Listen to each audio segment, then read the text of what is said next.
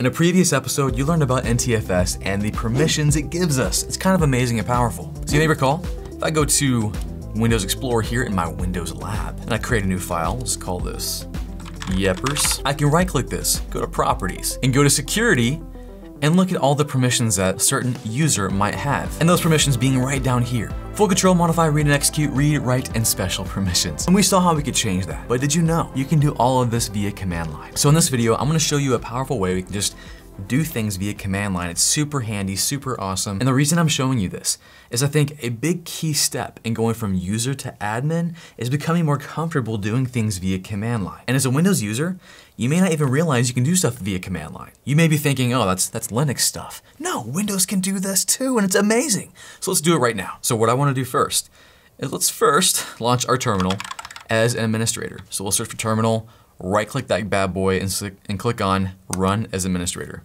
Yes. Now in the previous episode, I showed you how to create a user account, both via GUI and command line. Um, here via the command line, I can see what users I have, and you'll wanna have just maybe an extra user. Actually, you do want one. Make an extra user right now if you haven't already done so, so we can play with their permissions. Now if I type in get dash local user. It will tell me all the local users I have here on my machine. Two I'll be playing with right now are two I created in the last episode, Michael and Austin. So have your new user account ready. And goodness, we're actually gonna learn a lot of command line right now. So I'm typing clear, clear to clear my screen just a bit. Blow it up so it's nice and pretty for you so you can see it on your phone. So right now I'm here in the user directory and inside my user directory, Network Chuck. Inside this directory, I'm gonna create a new folder. Do this with me, it's really simple. MKDIR for make directory. And we'll call this folder good stuff. Knocked it out, there it is. If I type in ls, or dir, I will see good stuff right there. Let's go ahead and cd or change directory into that directory. So cd good stuff. Now we're there. Notice our breadcrumbs changed. Cleared out. Coffee break, because it's early in the morning for me. This is cup number one. People rarely see cup number one network chuck. I'm just saying, it's a treat. I'm just kidding, I don't know. Once we're in there, let's create a new file. Doesn't have to be anything special. The way we'll do this is with the commandlet called new item. And we'll just call this file yep.txt. So now we should have a file called yep.txt inside that folder. And just to confirm with GUI, which I love doing, I love doing things via command line and then going to check the GUI and saying, did I do it? Is it real? Because command line can feel like I just typed stuff, but I don't know if stuff happened. Let's go there. We'll go to our this PC, jump into local disk, go to users directory, go to network chuck, and there's good stuff right there. It's real. Jump in there, there's yep. Now let's talk about permissions. There's a fun thing called iCackles. I don't know why it makes me laugh. It's so dumb that it makes me laugh. It's like this, I-C-A-C-L-S, iCackles. Now I know the last bit stands for ACL, which is access control list, and then the S is, you know, for lists. Uh, but what does IC mean? Actually, I never knew. Let me go Google it real quick for your benefit. You know what? It's not easy to find. And I spent probably 30 seconds doing this and I give up. I don't care anymore.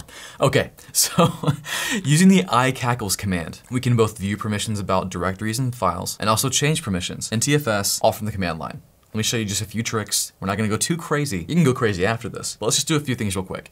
Now first, I'm gonna jump back into my user directory. So I'll do cd dot dot. Bam. Now let's type in iCackles, iCackles, and we'll specify the good stuff directory. Good stuff. So a lot of crazy looking gobbledygook right there. What's happening? Let's talk about it. Notice it lists some users here. NT Authority System, which is our system user that's like godlike power.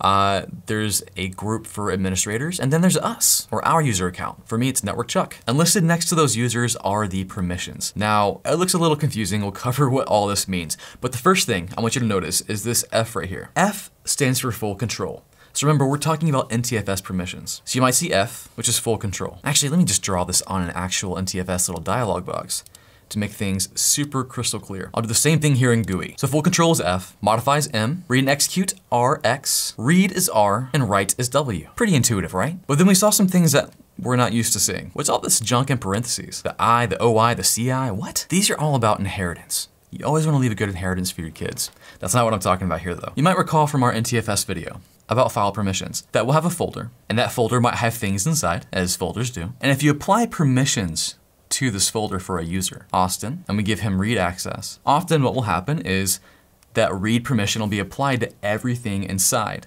that folder for Austin. Let me actually make that a different color so it's really easy to tell what's going on. Austin has read access. We applied it at the folder level, and most often for Austin, everything inside of that folder might inherit those permissions. It's a very easy and handy thing for us. So when it's showing us this directory, good stuff, it's telling us that, hey, network chuck here, first of all, OI, object and object inheritance or objects inherit. It means because I have this permission, I also have permission to everything inside that folder, unless explicitly denied. And then if I look at the I, which stands for, probably guessed it, inherit, the I means permissions were passed down to me from a previous folder, probably my network chuck directory. And finally, we have container inherit. Getting a little messy over here, CI. And this will pinpoint a difference between object inherit and container inherit. I know we're getting kind of in the weeds here, but I think it's pretty fun. Just let me know if it's fun.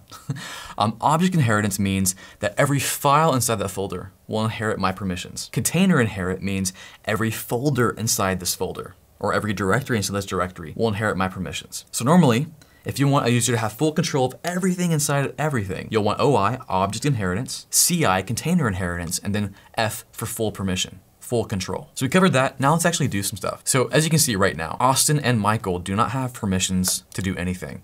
Let's change that right now. So we'll type in the command iCackles, and we'll start out by telling it what directory or file we're gonna be messing with. Right now it's gonna be good stuff. And actually before I finish typing it out, if I hit tab, it will auto complete for me and make it look all cool. But you could just have it sitting at good stuff.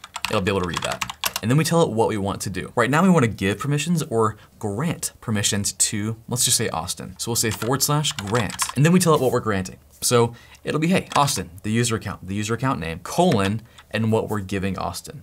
Let's just give him read access to this folder or directory. R, that's it. Check it out. Tells us we successfully did something to one file. Let's iCackle that directory to see the permissions now. Hey, hey, look at that. We now have NCLab which is my computer name, and then Austin. Now the reason it does this right here is because this is a local user account. So it's telling me, hey, this user account belongs to this computer. NCLab. And then looking at the permission, we have a big ol' R for read only. Now notice we don't have any of the I, OCI, CI, none of that stuff. And I wanna quiz you actually real quick. So if we go to this folder, good stuff, and I look at the properties and I look at permissions, what do you think will be there? Let's go look. I'll right click good stuff, go to properties, security, there's Austin, and wait, what? Special permissions. Now this might seem kind of weird because it's like, I thought we gave him read access. Why is it saying special permissions? We did give him read access, but check this out. We can actually dive deeper through GUI to find out exactly what permissions he has at a deeper level. If we click on advanced, whew, we're getting advanced here. We can see Austin has access to this folder only. So whatever permissions he has, it says read access, inherited from nothing to this folder only. So we can see that he has read access. Now let me ask you a question. If I jump into this directory and check the permissions on yet, will Austin have access to this? Let's see. Go to security. I don't see Austin here. Do you? Austin doesn't have access to this directory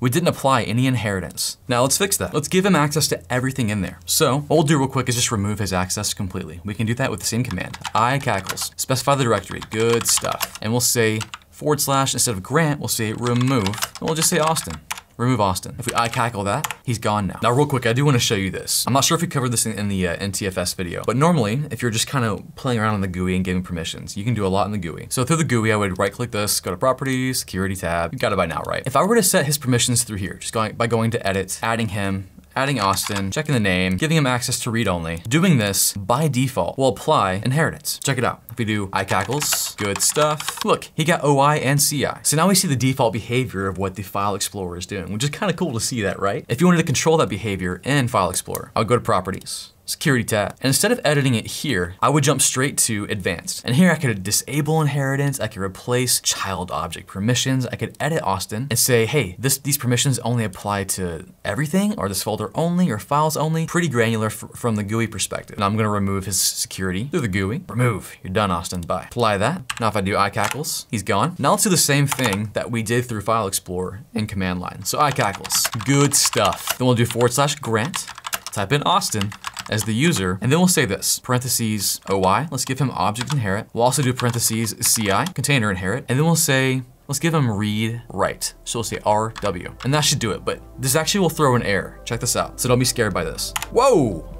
It's like, I don't know what's going on, I'm confused. The reason for this is iCackles utility was mainly built for CMD, or command prompt. Right now we're using PowerShell, and PowerShell does not like these parentheses. It's used in other ways in PowerShell. We can get around that real quick. Hit up arrow on this command. Right after the directory, at right after good stuff, we're gonna hit dash dash percent sign, which is the number five with the shift, okay? What this will do is tell it, hey, ignore those parentheses for the syntax. We're gonna be using it for something else. Leave me alone. Now let's try. Done. We got successful message. If we hit the up arrow and just do iCackles good stuff, bam, OICI read write for Mr. Austin. Yes. Now, like all things in IT, there's more you can do with this. You can go deeper down this rabbit hole. I gave you enough to be excited, to know some things about it, and to feel pretty confident with it. That's all for now. I'll see you in the next episode. It's me, Network Chuck from the future. Just kidding, it's me, Alex. If you want to see tons more great IT courses just like this one, go to academy.networkchuck.com. Link in the description.